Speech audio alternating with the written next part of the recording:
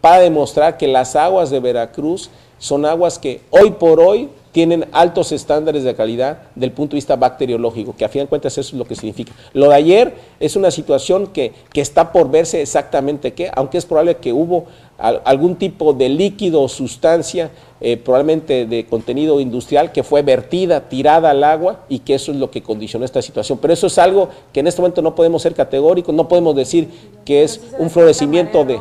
Pero los, no hay ningún elemento para pensar en que pueda ser un florecimiento de algas nocivas, que es lo que quiere decir la marea roja. Esto esperamos, esperamos que la información que nos decían los técnicos expertos, que esto estaría de aquí al lunes a más tardar esos resultados.